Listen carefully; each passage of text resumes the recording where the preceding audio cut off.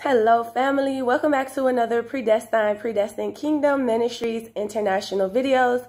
I'm Kennithia J, and welcome. In this video, this will be a summary on the book of Ezekiel here at Predestined, Predestined Kingdom Ministries International. Um, we just finished up the book of Ezekiel, starting from the book of Psalms, um, Daniel was read in between, and Hosea and Obadiah, and all those other books have already been read. But I didn't do a summary on Ezekiel.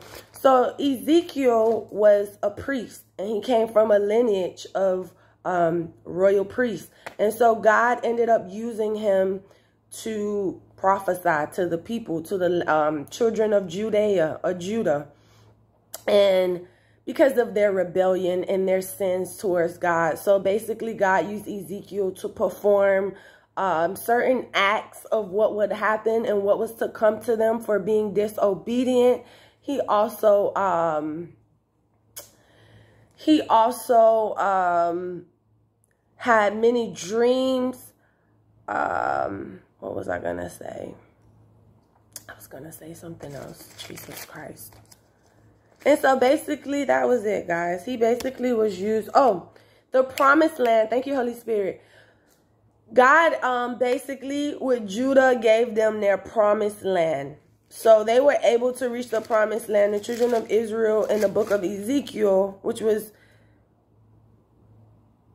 the children of Judea or Judah, J-U-D-A-H they received their promised land. They ended up being obedient and got to their promised land. So read the book of Ezekiel. It is a fairly long book. I'm not going to lie. It's a, it took me a while to finish it up.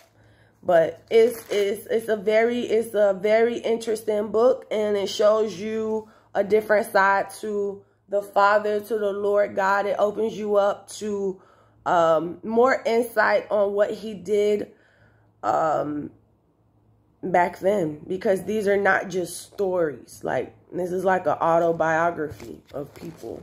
This is an autobiography. This is the word. So, I pray I help I help you. I pray you read the book of Ezekiel. In Jesus' name, amen. Shalom.